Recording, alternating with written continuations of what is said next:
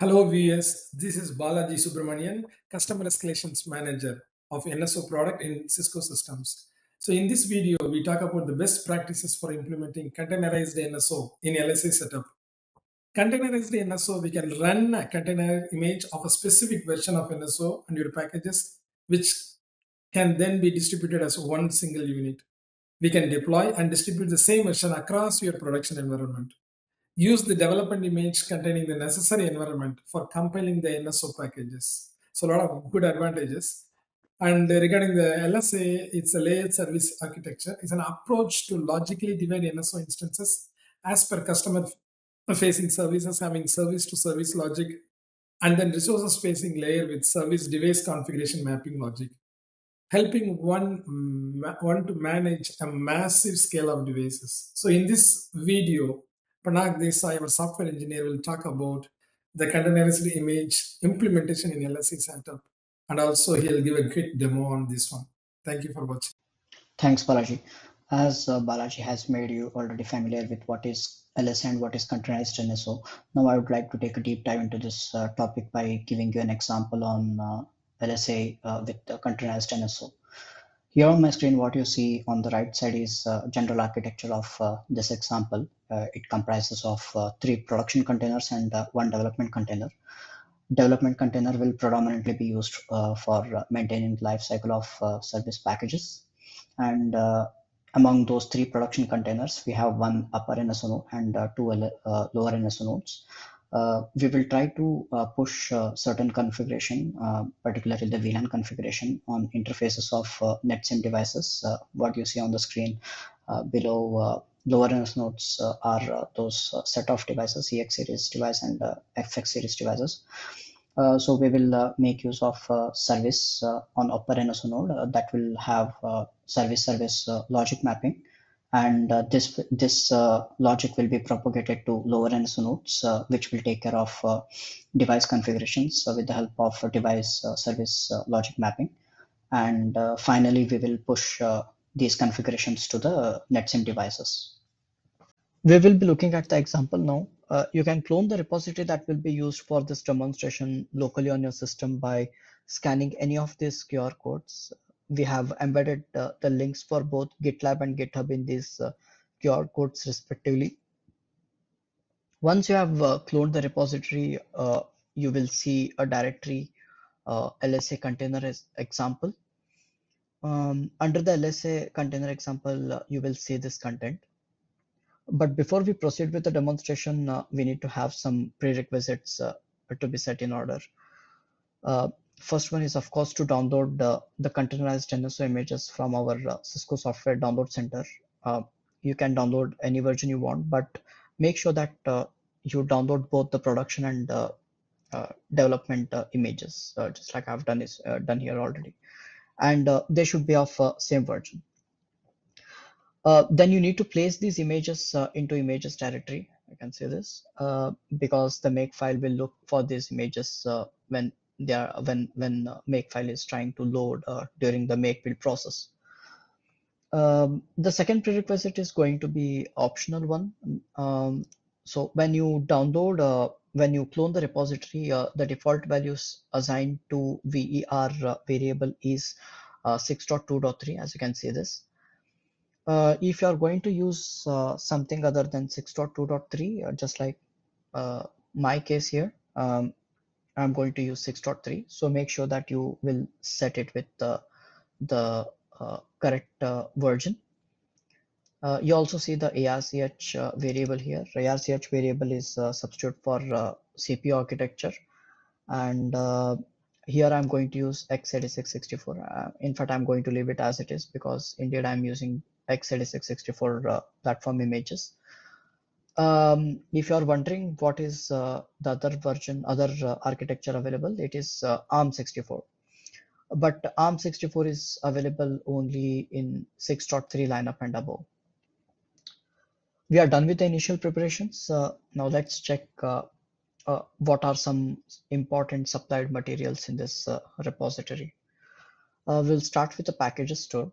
So packages store contains packages that will be copied into the Uh, packages folder of uh, running uh, NSO instances uh, depending on type of node. Uh, for example, the CFS VLAN will be used by the upper node uh, uh, because it contains service service logic. RFS VLAN will be used by the lower nodes because it contains service device configuration logic and it pushes configuration to the devices under the governance of CFS VLAN service, which we deployed through upper node.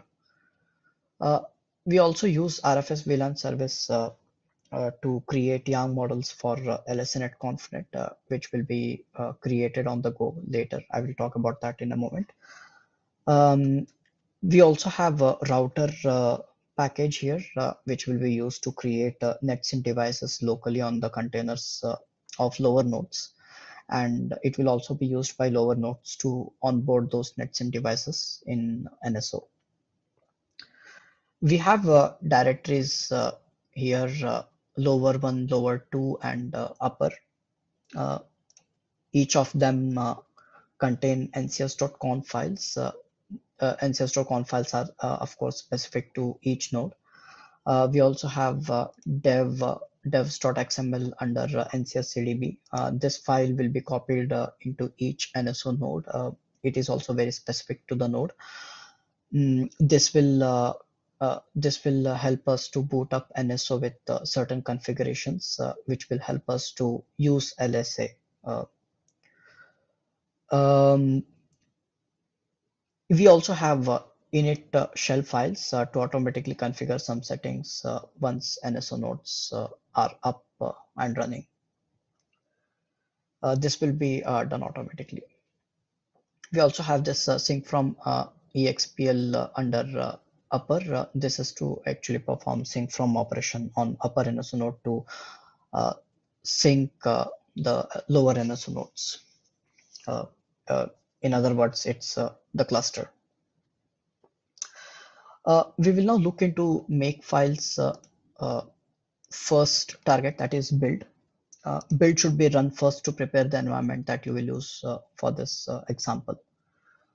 this start from loading your images uh, building temporary production and uh, uh, development containers just to keep our file structures and packages ready when we spin up actual usable containers using Docker Compose. you can see this. There's a Docker Compose file supplied. we will check this uh, when we will run make start uh, target. Uh, the temporary production container will populate this uh, NSO uh, with a three sub directory called upper lower one lower two by the end of make build process each of these folders will uh, contain file structure for uh, running NSO instances. Further, we will also have uh, LSO log vols uh, mapped uh, to uh, production containers uh, logging directories in each of their respective folder, just like an NSO vol. during this make build process, we will also copy supplied packages uh, uh, that we uh, discussed here in the packages store into each of these running NSO instances packages folder inside NSO vol. if you look at line 38, you can see that uh, we are making use of a temporary development container. Uh, this will uh, this container will help us do some chores related to packages uh, that includes building a package here that I was uh, mentioning earlier about the LSNet component. Uh, we name this LSNet component as RFS VLAN NED. this net will be used by the upper node to communicate with the lower nodes. To do this, container will use NS, NCS make package during the build process. Uh, we also see here that uh, uh, the development container uh, takes care of compiling the packages. Uh, that's because when we uh, have all NSO uh, running, we already have the compiled packages and they are even they are up and running in those nodes. We will try the make build now. to do that, we will say make build uh, you can see that it has uh, started loading the images um, we will uh, build uh, the temporary containers next. Depending on the performance of your system, this is going to take a while. So I will wait till this process is finished. We have completed the make build process completely. You can say this. Uh, we have done all these uh, um, uh, activities here. Uh, we can also see that as a result of uh, uh, the make build process, we have three subdirectories under NSO uh, which we had discussed earlier. And if you look at their packages folder under their running instances directories, you can see that we have appropriate packages copied uh, copied into them. Uh, the lower nodes have uh, RFS VLAN and the router package and the upper one has uh, the CFS uh, VLAN and RFS VLAN NED. Uh, that's um, that's how the make build uh, prepares your environment. Um, now we'll be looking at the next uh, uh, target that is make start. make start will be taking care of starting Docker Compose service, which we have here. the Docker Compose service actually comes from this file I'll quickly walk you through this. Um, so uh, the idea is to bring up three production containers and one development container together uh, as a part of the service. Uh, production containers use uh, Docker network to communicate with each other. Uh, uh, it's here. this is the network that will be used by the production containers. Um, we also see that there are volume bindings for each of these nodes. Um, we have uh, upper node, lower one and lower two. Uh, we also have this uh, build NSO packages, uh, which, a develop, which is a development uh, container. And uh, volume bindings are such that we have mapped the respective container to its running NSO instance folders located under NSO Vol. but if you look at the development container build NSO packages, uh, you can see that uh, the volumes are binded uh, only to packages folder of uh, each node. That's because uh, the development container is uh, just for building, maintaining, and developing packages. Um, it is not going to have any running NSO instances on it. Um, this makes it convenient to manage all service packages lifecycle under one hood. Uh, let's try to run uh, make start. I'll clear this make start. So you can see that uh, we have started uh, Docker Compose service and uh, currently it is in uh, process of firing up those containers. Um, currently the status is not ready uh, you can see that each of those containers are in uh, status one, which means they are not yet uh, ready. They are spinning up. Uh, once uh, they are all ready, uh, they will turn zero and this will be changed to ready. So let's wait. We see that the status is ready and we are executing permission commands.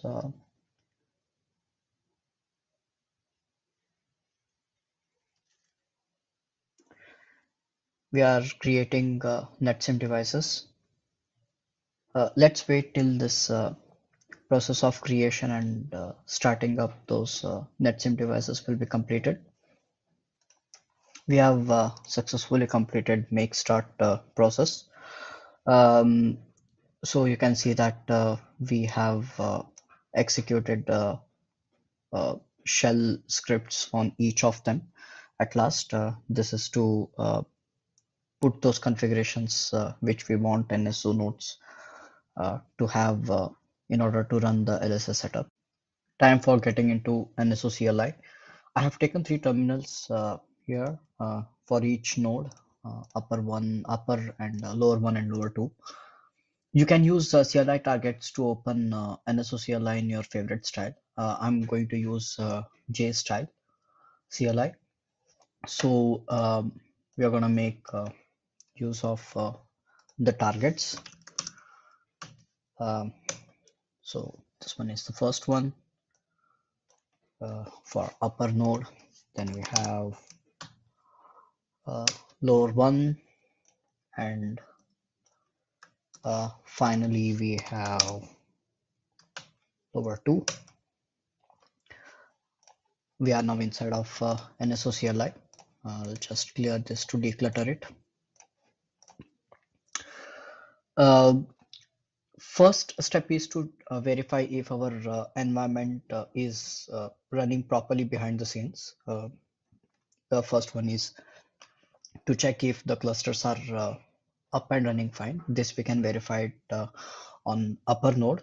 Uh, for that, we can say show uh, cluster connection.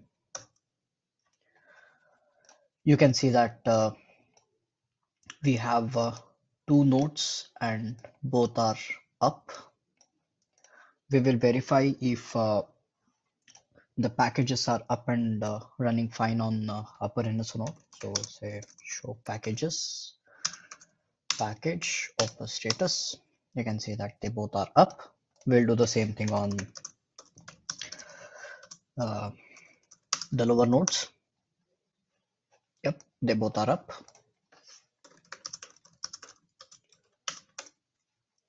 So we have verified that uh, the packages are up and running fine on all three nodes.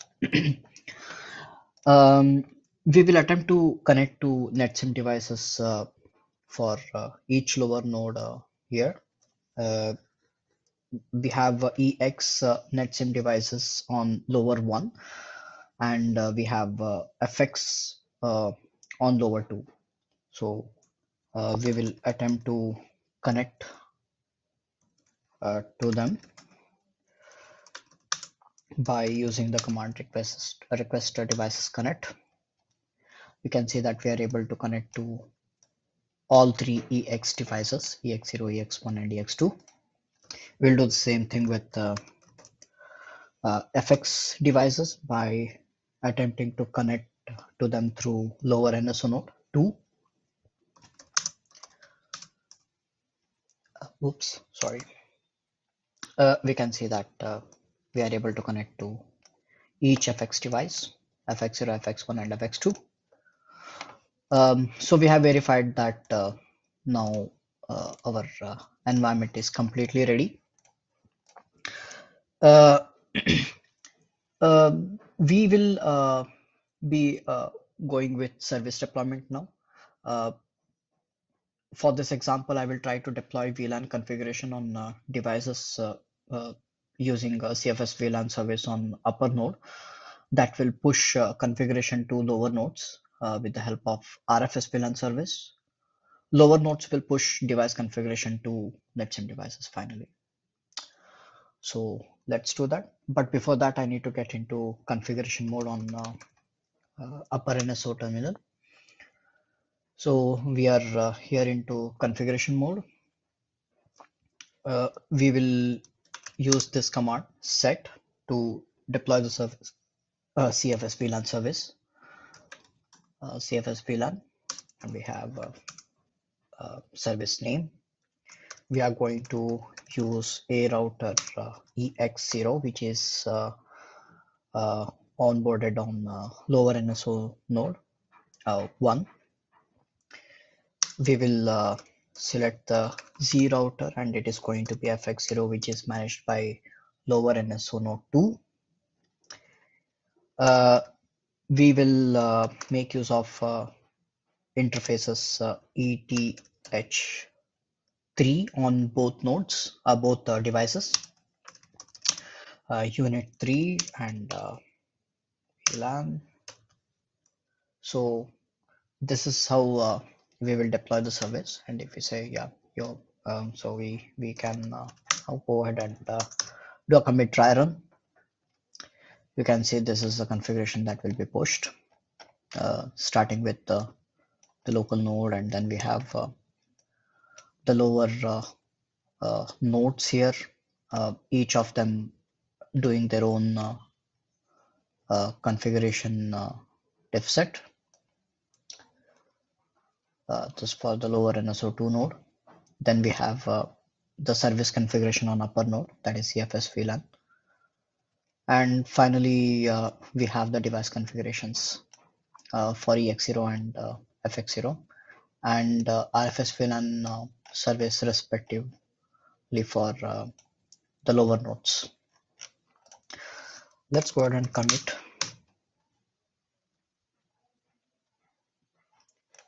You can see that uh, we have a message here uh, displaying that uh, the commit was performed by the user uh, and uh, it was done actually with the help of uh, upper NSO node here. You can check the forward diff set on upper NSO node by executing this command request CFS VLAN service, uh, the V1, uh, and then we have get modifications.